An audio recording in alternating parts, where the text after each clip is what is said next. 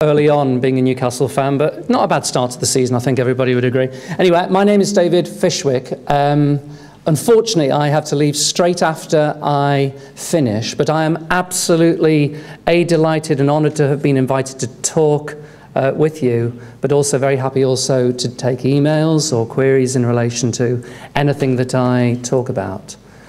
Um, this is a subject close to my heart because I am a chest doctor. I just sit in clinic week in, week out in the NHS.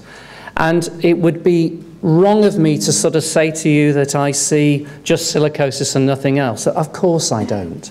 I, I see lots of other breathing problems. But I think uh, silicosis is still an issue for doctors like me. And I will talk on a couple of tragic stories. These are all tragedies, in my view, as a practicing doctor, when you see people where things perhaps could have turned out differently um, if things had been done at an earlier stage in their workplace. And that's why I'm absolutely delighted that everybody is here today to consider these issues. Couple of really pretty black and white photos. I'm going to talk about each of those. One of those is the ultra structure of the lung, and the second is the scene of a complete and utter tragedy in the United States about uh, 80 years ago. So there they are, there are your lungs, you've got two, hopefully. I suspect it's very unlikely you've got uh, more than two. Yeah, I suppose you might have one. If you've had a lung taken out, you may just have had one from birth, but generally we are given these precious things. I would be absolutely made up if at the end of this talk, when I show you this picture again, that signifies this is the end of this talk, that you think slightly differently about these lungs. That is actually a model of a real set of human lungs. So when someone has died and consented to give their body to medical science, uh, a polymer is poured into their lungs. This is a polymeric cast of the human lung. So, you know, unlike sort of cartoon images where the lungs are sort of balloons full of air, um, your lungs are anything but that. You can see on the picture on the right that they are beautiful, fragile, tree-like, and they branch and branch and branch and branch in order, and you can probably remember from your biology, in order to allow the oxygen that's in this room effectively to get into the, the bloodstream. Now, that picture on the left, I think, is really, really interesting. You're all much more technically minded than I am. And that is a picture of the human alveolus. You have about 300 million of those in every lung. And they are about 70 microns across, 70 to about 200 microns across. That little membrane that you can see there holds your blood from your heart and the big open space that you see there uh, is connected to the great outdoors. So, all of you in this room and me are a micron away from bleeding to death every moment of your life. Now, if you had a piece of machinery in the workplace that you are relying on, which had a micron thin membrane, uh, to, to function well, you would be very keen on its maintenance contract. You would be very keen on an annual look at it. You'd be saying, how are we going to maintain this? Very important. And yet your, your lungs and the workers within working environments have exactly that. This is a precious resource that we are given and, in my view, should be looked after. So I'm going to talk firstly about silicosis, um, obviously, silica is the main um, deliberation today. Um, and there are countries in the world, this is from Kazakhstan, where silicosis destroys, completely destroys families. Generations of men die from silicosis. Women who work in mines and or get environmental exposure from silica also succumb, as occasionally do children. So we're in a very difficult and different, sorry, a different situation in the UK. Now, I've started off by doing loads of talking, so here's the fantastic opportunity to get to know your next door neighbour. I'm going to give you a minute. How many normal breaths do you think you take in a lifetime? So if you don't know your next door neighbour, now's a fantastic opportunity. I'll give you a minute, and here are the options 12 million, 90 million, 440 million, or 900 million. Off you go. No calculators, no phone a friend, no 50 50.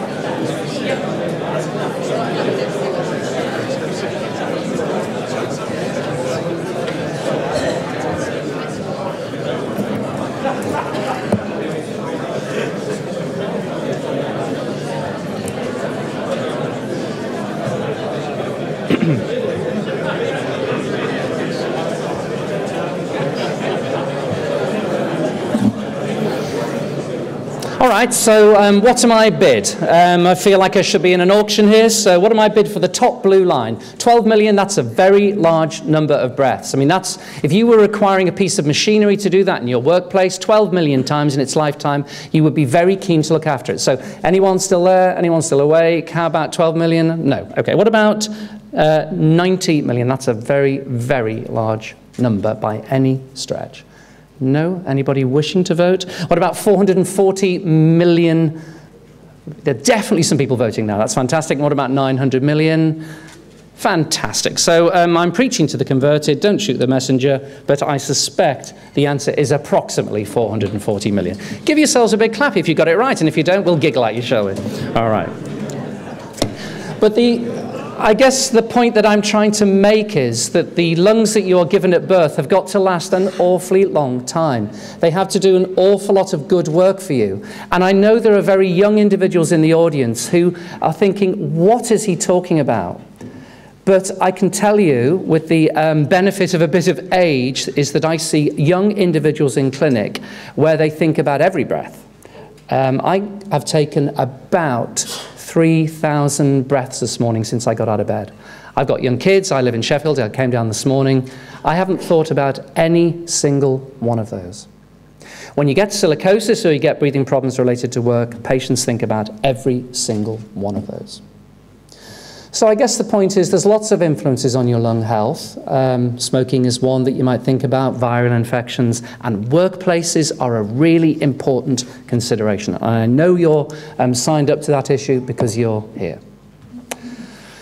When you add all that um, air up, that's a very considerable number of meters cubed that you're taking into your lungs over your lifetime. You can see where I'm going with this. About a third of that you breathe in in bed, a third of it you breathe in at work, and a third you breathe in when you're doing the stuff you really want to do, I guess, uh, in hobbies and so on. If you took a walk out into the car park for 63 metres, and then you took a right angle bend and walked another 63 metres, and then got into a helicopter and went up 63 metres, that is one big cube. And that's the amount of air that you breathe in over a lifetime. So the quality of that air is so important to all of us if you are going to rely on your lungs when you're 80 or 90 uh, to sustain you appropriately. Now, have a quick look up the, your next door neighbour's nose. I know it's a slightly unusual situation. It's true, it's, it's for real. Have a quick look up your nose. I'm going to give you a couple of seconds to do that.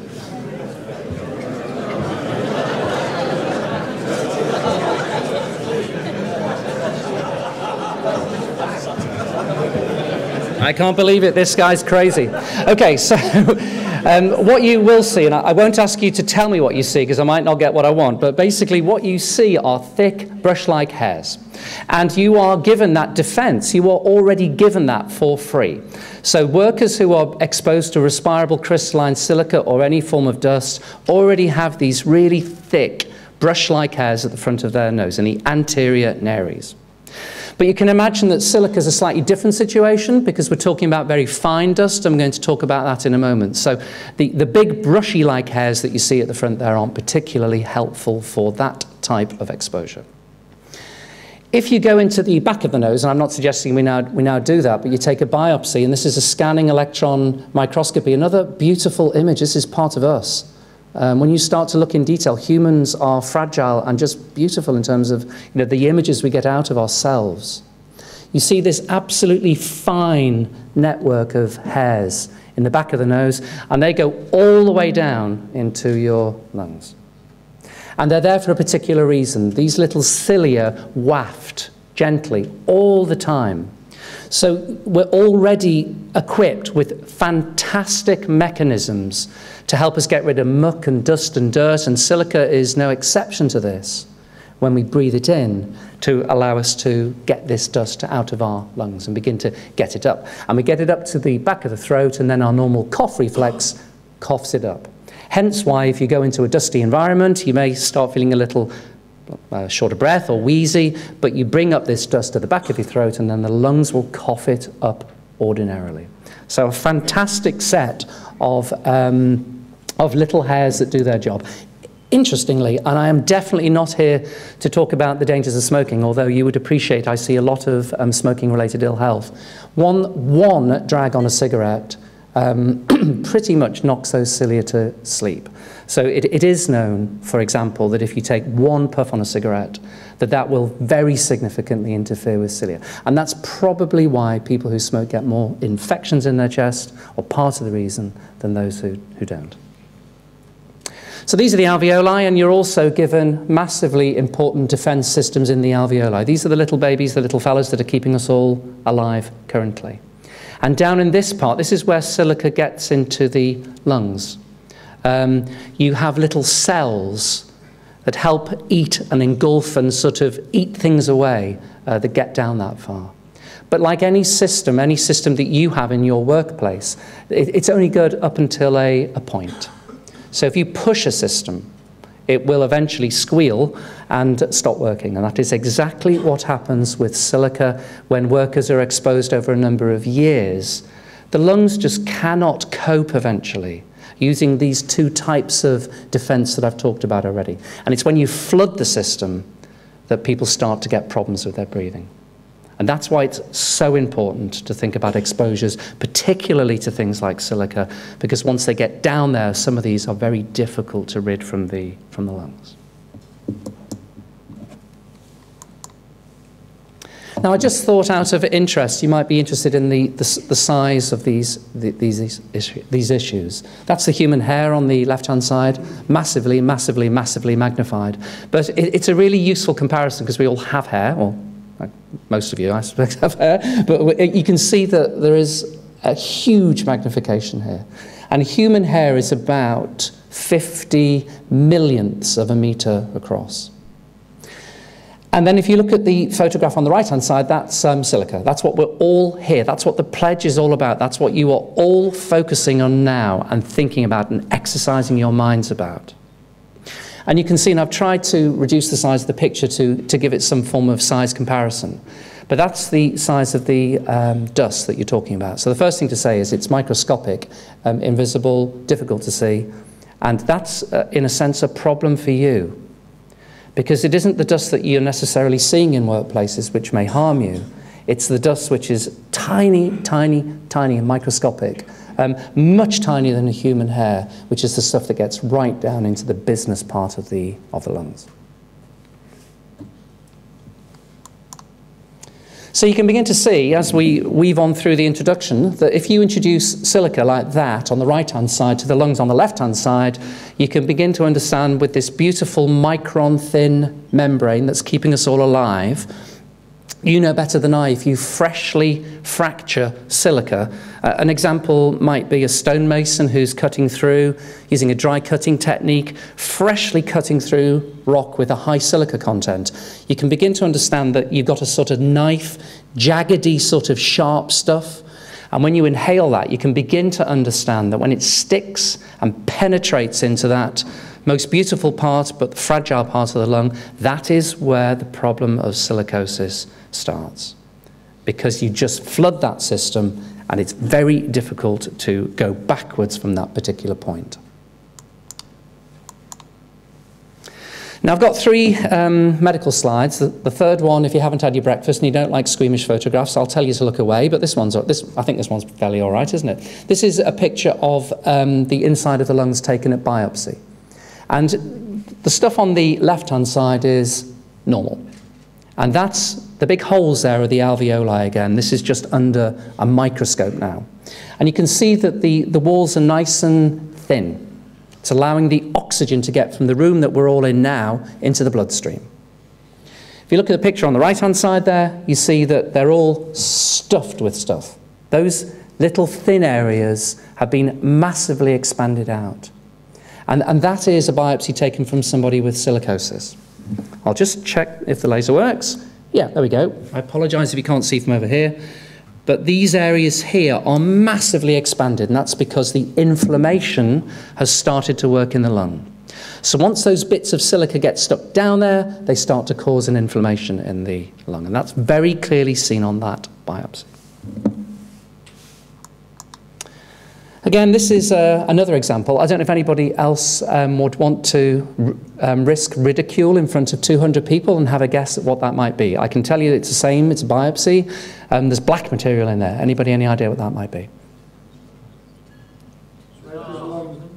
So, so, smoker's lung? Yeah, could be. Absolutely could be smoker's lung. Fantastic answer. This is actually an occupational biopsy. So thinking laterally, what's black that some people Coal, absolutely. So this is coal aggregated in the lung. And you can see again a beautiful, but not beautiful if you happen to be the patient, of course, example of uh, coal uh, aggregations in the lung. So when you look at biopsies, you see this stuff down in people's lungs. So some of this just can't get out. And when you look, and this is the photograph, if you're not particularly keen on seeing whole lung, it's a post-mortem specimen. There's no dead body or anything. It's just a lung. You've probably seen it before, so if you don't want to look, please do look away now. And there is a section of whole lung, and that is, uh, you can see at the left-hand side, nice, normal, healthy pink lung. That's what your lungs look like. They don't look like balloons, they look like sponges, as we've talked about already, and you see that huge black hole at the top of that lung and that was from somebody who died of silicosis. So you can see the potential damage that something like silica can do when it starts to penetrate down deep into the lung area.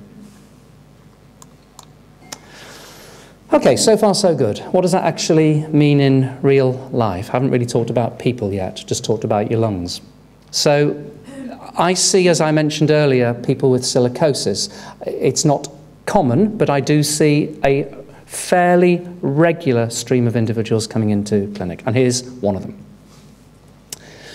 Uh, this guy was 46, not particularly um, special case of silicosis. This is just a case of silicosis. Um, he had never smoked in his life. He came up to clinic with his wife, and he had just noticed they had a little uh, grandchild that he was short of breath when he was kicking the football around the park with him.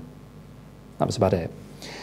He um, had been a stonemason all his working life um, since he was 20. He was so 46 years worth of exposure, and um, he had some tests, and we did some tests on him.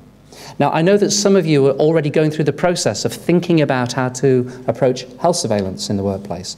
And they are pretty similar to the tests that we would be doing in a hospital. But I'll show you his x ray and I'll show you his CT scan, just so you can get a flavour, a feel for what it actually looks like in reality to see images from people who've got silicosis. Now, there's a lot talked about macho culture at work and um, very difficult to tackle that, and I totally understand that.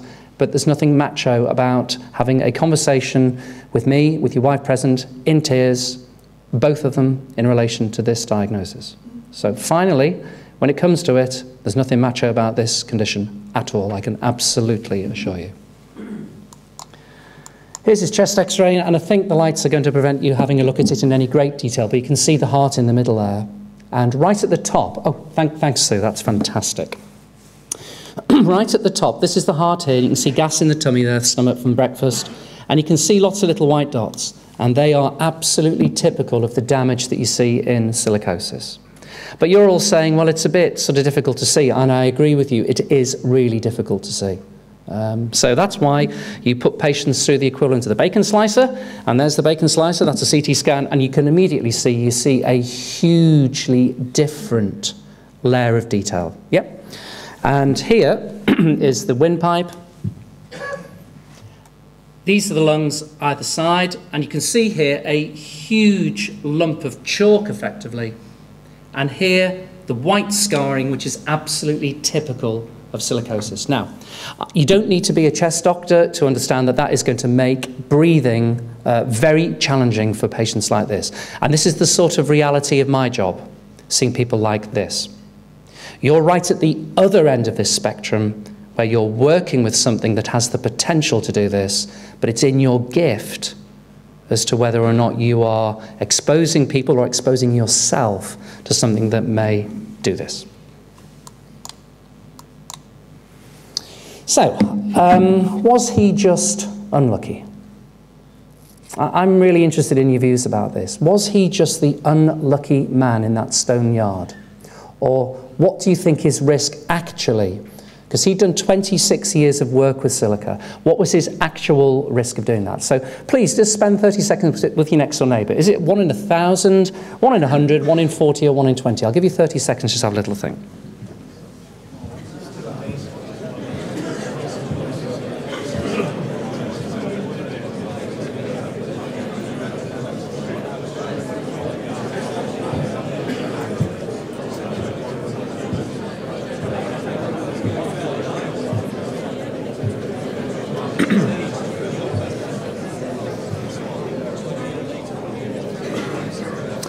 All right, so um, I'm sure I can hear chat about the football.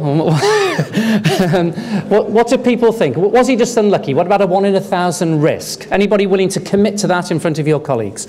Okay, what about a one in a hundred? That's still quite a significant risk. Yes, lady here. Um, few hands going up, and that, that's, I think, a very reasonable um, vote. What about a one in 40 risk? Okay, so quite significant risk now we're talking, and one in 20, really very high risk. Okay, and again, don't shoot the messenger. I've got a fast car waiting. Half marks for 1 in 40 or 1 in 20. But to be honest, 1 in 100 I would also accept. And this is the problem that whichever set of risks you look at, you tend to get different, different answers. But broadly speaking, there is a consensus. In your line of work, you will, get, you will develop in your workplaces a consensus view if people have differing views. And this is exactly what the medical and silica interested community do. And you will probably be more aware than me of the OSHA document from the United States recently, which has started to look at those risks. But I think the point is from these pictures, not the numbers, is just that this is not a tiny risk. This is quite a significant risk over a lifetime. Now, these OSHA data are 45 years of exposure, so that's a long working lifetime actually. So you can take the numbers affected down. But even so, this slide is half our current WEL, 0.05 milligrams per meter cubed. You will be familiar with the 0.1 value. And you can see that at 45 years, you've got about a 5% lifetime risk. You have to drop it down to a quarter of our current WEL to get it down to very low levels, for example. And if you do the opposite and come up to our current WEL, now this is associated with a very significant risk, but you mustn't forget this is over 45 years of exposure rather than some of the risks that will be quoted in the industry in relation to 15 or 20 years of exposure. And that the exposure doesn't just go up with risk in a line. As you get more exposure, your risks start to really escalate up. Why is that? Probably because if you have silicosis and you already have a damaged lung, more silica is able to even more damage the lung because the lung is already damaged. So that's why the risk probably doesn't go up in a linear fashion, but goes up in an exponential way. Nevertheless, the take home message is the risks are finite and real for people like me and for people like yourselves. Oops, apologise about that. Seems to have gone wrong a little bit. Um, it's not so important. It's just to make the point that if you go looking in international studies, this happens to be a Dutch study, but actually some of you will be familiar. The Dutch have done a lot of work on silica, particularly in the construction sector, and the values that you can't see hidden behind the chest X-ray, chest X-ray CT scan image are that if you go looking in workplaces, you will find abnormalities. And depending on what type of abnormality on a chest x-ray you're looking for in your workers, you will find quite significant numbers of people who've been exposed a lot who will go on and develop silicosis. So when you start x-raying people, you will find people with problems. So generally quoted are these figures, about 2.5% to 10% over a lifetime, um, 20 years working life uh, at the current WEL. Um, we had a meeting last week with some representatives from the BCC where we went through things in a, a lot more detail. And to summarise, it is a very complicated area. And I have a lot of sympathy for work sites and um, trade associations who are now grappling with these issues of silica once again.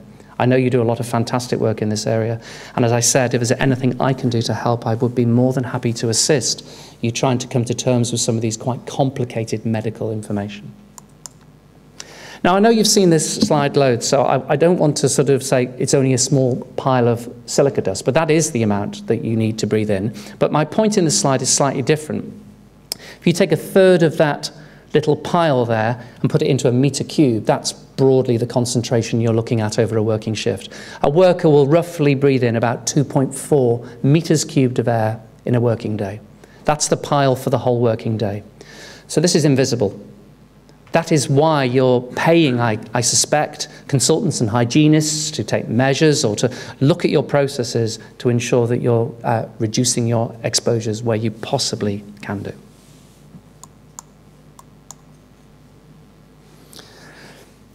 You get the theme now, aren't you? It's a bit like Who Wants to Be a Millionaire, isn't it? So I'm now interested in your view about who gets silicosis.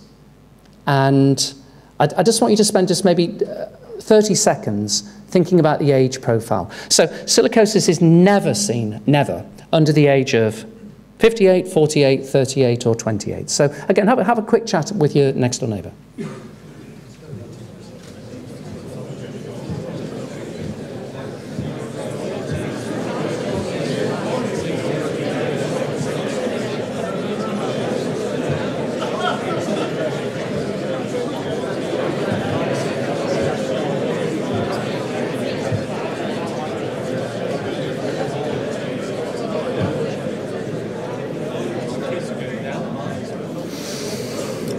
Right, every, every question is asked for a reason, isn't it? So, um, what about, um, what am I bid for? Um, let's go with 58. We'll start from the bottom up. Anybody think, you, you, you hardly ever see this in younger individuals. I'm 55 next, so sort of my age and older.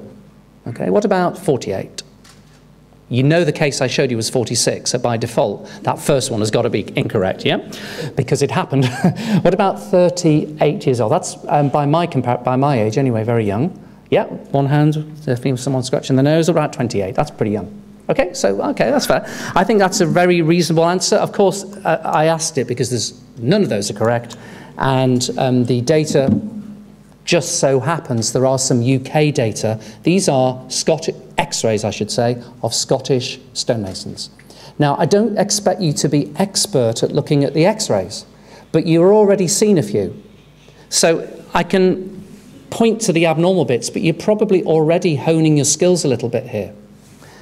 This is a 24-year-old man with shadowing in his lungs. This is a 29-year-old man with extensive shadowing in his lungs. Uh, again, this person here is 37 with extensive shadowing in the lungs. And these were written up by one of my colleagues, a chest doctor in Edinburgh, Peter Reid, in relation to a Scottish stonemason experience. Now, I don't know the ins and outs of this, and I suspect that these individuals were not exposed at the current WEL, but they would have been exposed much, to much greater concentrations. But the point is, this is not just a disease of old people like me. It is, is a disease of younger individuals too. And you, it's in, within your gift to ensure that younger individuals are protected just like older individuals are in the workplace. And I was shocked to see this in terms of the, the age profile. And actually, this little fellow would tell you a story. Um, although he lives in uh, Pakistan, he has got an x ray on the right hand side. And he is seven. And he has silicosis. And he wasn't working down the mines, but his mum and dad were. And it was thought that there was really heavy contamination of the, uh, the home environment with silica dust over a number of years. And in fact, he developed a complication of silicosis called silicotuberculosis, TB, um, and survived luckily. But you can see that his x ray, I would not like my 11 year old son to have an x ray looking like that. So please don't, don't compartmentalize silicosis as being a disease of people who are retired, because that is not the case. All right, um, I've got about nine minutes left. I'm just going to run through some examples of um, unusual scenarios which may be interesting for you. Just to, again, hang the ideas that we've already developed around you only get two lungs, your lungs are important. There are many influences on your lungs, and things can go wrong. And I'll show just some quick examples of how things can go wrong. I'm not suggesting that this is what's happening in your workplaces, but hopefully they may be interesting to you to um, appreciate what happens if you are um, not careful with exposures. this is a photograph of a bored tunnel um, through a, a, mountain in West Virginia. It was bored through in 1920, and this is called the Hawk's Nest tragedy. Um, some of you will be familiar with it. Um, complete and utter preventable disaster. Thousand men started off um, drilling this tunnel out, and they did it to divert water in a hydroelectric system. And effectively, what happened was they were drilling through low um, silica containing rock, and then they hit a, silica, a high silica containing seam, and unfortunately, you understand what happened next. Over the period of about the next uh, few months to a year, 600 of those men died. Uh, some of them died acutely, literally over a few days, and some died over a few months and years. Um, there's a plaque there. I have been there. There's a plaque there to commemorate this, this. And only in 1980 were all the bodies finally exhumed and put to proper rest. So if ever you want an example of how not to do things, um, this put down this cold 600 young, fit men who were drilling through a mountainside in West Virginia. So silica is bad for you. There is no doubt about that. Now, the exposures here, I think, would have been astronomically, astronomically high. And, uh, you know, the reason for this is that rocks, and, you know, gosh, you know this much better than me, I'm a chest doctor, but this is your bread and butter, that rocks contain different um, silica contents, but it's, it's an issue around raw materials, understanding your raw materials, understanding where your hazards are in the workplace and how you can look at those risks and those mitigate those risks, of course. And you'll all have fantastic ways of doing this. And you know, I'm absolutely delighted speaking to Bud earlier that this pledge has been, and hearing what Stephen's saying, 15 years worth of activity. I'm delighted you're focusing on this really important issue. you're beginning to get the point now that, um, and this CT scan that you can see at the bottom is clearly, and you've probably seen a few now, enough to know very, very abnormal. And uh, lots of white dots in the lung, and this is silicoproteinosis.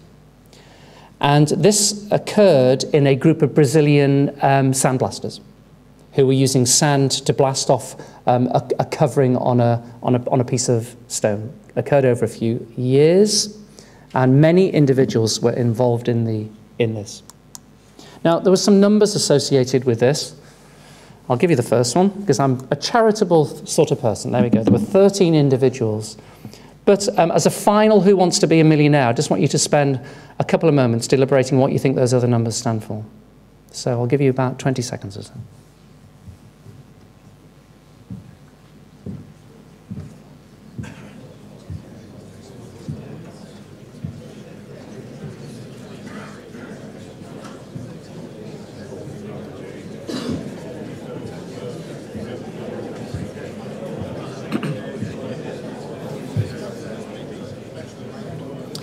All right, so anybody brave enough to say what they think 44 is in this, um, this, this tragedy in relation to Brazilian stone bla- uh, sandblasters? Anybody, any, um, any thoughts?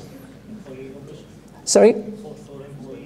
44 employees, yeah, could have been. It could have been 13 out of 44. Absolutely bang on. It wasn't that, but it could well have been that.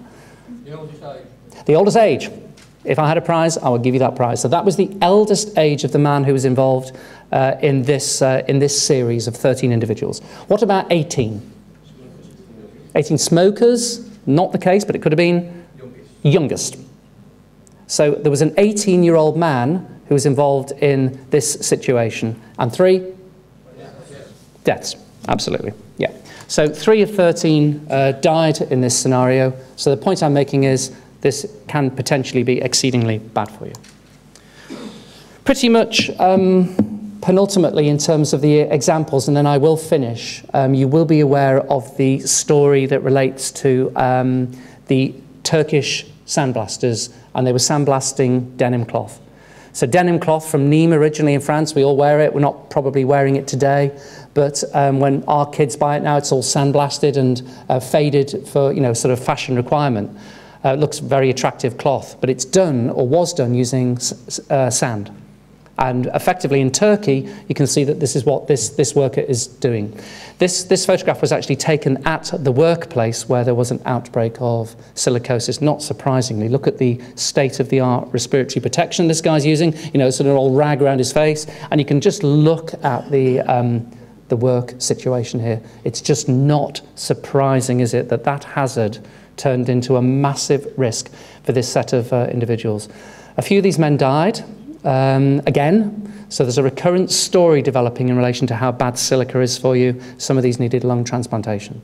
And um, just out of interest, heart transplantation is phenomenally successful. Maybe one of you in the audience has had a heart transplant. Lung transplantation is still very experimental. You have about a 70% chance of being alive after a year, so about a 30% chance of being dead after a lung transplant. So some of these were transplanted, but it is not just a straightforward issue. So the horrific situation of the Egyptian sandblasters. And pretty much um, finally, in terms of um, example, this is the numbers of silicosis that were um, attributed to a new type of exposure. And I don't know if anybody happens to know what it is, but I can tell you the bottom axis starts in 1997 uh, and it finishes in 2010. And you can see there was virtually none of it. And then over the last few years, there's been an awful lot of it reported in relation to a particular type of exposure to silica, which is in a new environment. Just making the point, you've got to be constantly vigilant about how these exposures are interacting with humans. Anybody happen to know what's the scenario here? Chip manufacturer. Sorry? chip manufacturer? No, not, but it could. Um, I, I know not so much about it, but not, not no. This is a particular type of um, fitment in a house, just to give you a clue. Artex, air conditioning, all very good ideas, but not. Um, in your kitchen, yeah, exactly. So granite and indeed not granite, but synthetic engineered stone worktops. So these are now made in Spain and Israel and very, very attractive. They can be coloured to the customer's requirements. And the point I'm making is as technology moves on, so potentially does the same hazard appear in different scenarios. And what happened here was that you can see a cutting saw through an engineered stone product. They're very easy to cut in comparison to granite um, very expensive, and they have resins within them, but also very high silica content. And this was the Israeli experience. And again, some men died, uh, others have required lung transplantation, and you can see there one of the x-rays, all the dots that you're now totally familiar with in relation to the diagnosis in this group of people. And there's another of these unfortunate Israeli kitchen top manufacturers with silicosis. And this is not just the risk of people making this stuff, this is a risk also of people who fit this in people's homes because it has to be cut a bit like corian or granite to go into a particular bespoke space. And when you actually look at the silica content of some of these newer agents, you, you, you can read the data there. You don't need me to explain to you how um, how damaging and potentially these could be given their silica content. So I was going to go on and talk about coal, but it's 10 o'clock. Um, I think I hopefully have um, highlighted a few issues in relation to respiratory health. And by way of summary, really, uh, th think about those two lungs in your chest. They are absolutely amazing. They are unique to you, and it's very unlikely you'll ever get another one. Um, they are so important in your longevity and also in your enjoyment of life, um, perhaps in the years after you leave work. And I suspect all of you in this room are totally signed up to the view that your actions now actually will, def definitely will shape the future health of your lungs and also of workers within your work environment. So thank you for being such an attentive audience. Thank you very much indeed.